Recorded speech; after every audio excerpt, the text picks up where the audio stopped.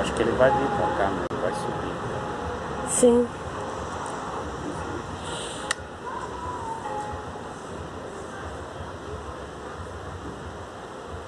Ele vai.